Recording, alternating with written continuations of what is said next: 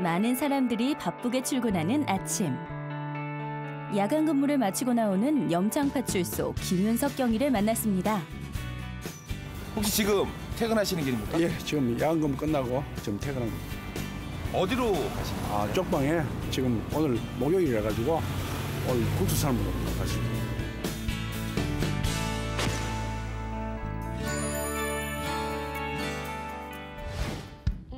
야간 근무로 밤을 새고 피곤할 만도 한데 김윤석 경위가 향하는 곳은 집이 아닌 영등포 쪽방촌입니다.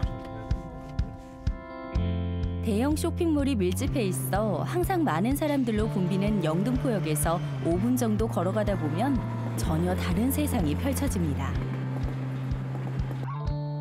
이 동네는 그 자체가 이제 그 영등포 역전 중심으로 해가지고 그 노숙 인들도 있고 독거 노인들, 생활 보호 대상자들 그런 형태로 해가지고 이루어진 그런 동네예요. 아침 일찍부터 영등포 쪽방촌을 찾은 김윤석 경위. 매주 목요일이면 함께 급식 봉사를 하는 봉사회 회원들과 반갑게 인사를 하고 식사 준비에 들어가는데요. 지금 혹시 어, 어떤 걸 보고 계신 건가요? 아, 오늘 이제 점심 때 국수 끓이려고 육수, 육수가 이제 잘 있나 안 있나 이제 한번 보는 거예요. 600여 명의 쪽방촌 가족들이 부족함 없이 먹을 수 있도록 매주 목요일이면 무려 1000인분의 식사를 준비한다고 하는데요. 그러다 보니 육수의 양도 어마어마합니다. 머리도 아프고? 18년 전으로 거슬러 올라가 영등포경찰서 강력반으로 자리를 옮기며 쪽방촌과 인연을 맺게 됐다는 김윤석 경위. 실제로 쪽방촌에 밥을 몸에서 해먹는다 하더라고. 그 14명인가 지금 선정을 했어요. 선정을 해가지고 그 가스 번화하고 사가지고 이제 해보니까 아이고 반응이 좋더라고. 그래가 이제 그런 계기로 해가지고 쭉 계속 18년이란 오랜 시간 함께하다 보니 이제 가족만큼 가까운 사이가 됐다는 김윤석 경위와 쪽방촌 주민들. 매주 목요일이면 기다려주는 이들이 있어 이제 봉사는 그만둘 수 없는 일이 됐습니다. 며칠 안 오면 전화도 와요. 왜 안 보이냐고, 왜 안 오냐고. 그러니까 내가 계속 올 수밖에 없고 국순이 뭐니 이거 한 2, 300명 저 준비한다는 게 보통 일이 아니에요. 그 나무리에서 좋은 일 한다는 게 쉬운 일이 아니거든요.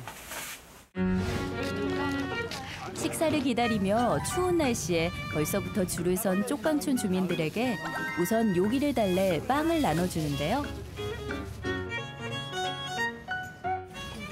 미리 삶아둔 국수를 그릇에 담는 바쁜 손길의 여성분이 바로 김윤석 경위의 후배 경찰입니다.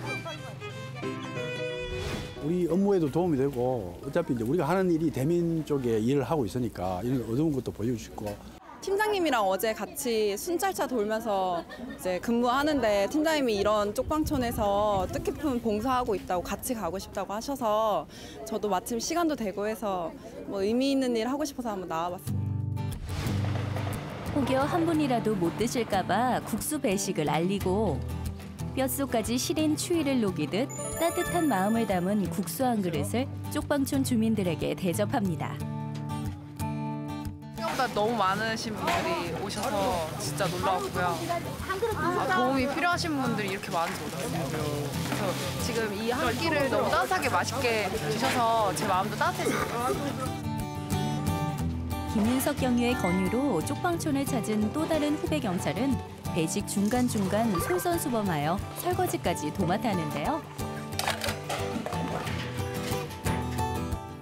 사회를 바라보는 정말 밝은 모습만 봤는데 그렇게 어두운 곳도 보니까 어, 정말 경찰관으로서 그런 사회들 약자들 돌봐야겠다는 생각이 한 번 더 들게 되는 계기가 된 것 같습니다. 짧은 시간이지만 훈훈한 정을 나눈 점심시간이 끝이 나고 김윤석 경위를 비롯한 봉사회 회원들은 다시 일상으로 돌아가야 할 시간입니다. 지금 요즘 현대에서 뭐 사회에서 사람들이 점심을 못 먹는다는 이해가 안 가잖아요. 그렇지만 실제로 여기 사람들이 오면 어, 점심을 못 먹고 있는 사람이 있거든요. 그분들 때문에 느낀 바 있기 때문에 내가 어, 의무감도 있고 책임감도 있고 그렇기 때문에 여기 와가지고 매일 봉사를 하고 있습니다. 우리 사회에 여전히 도움이 필요한 곳이 많다며 보다 많은 사람들이 함께 봉사를 했으면 좋겠다는 김윤석 경위. 아직 세상이 살만한 이유는 바로 이런 분들 때문이 아닐까요?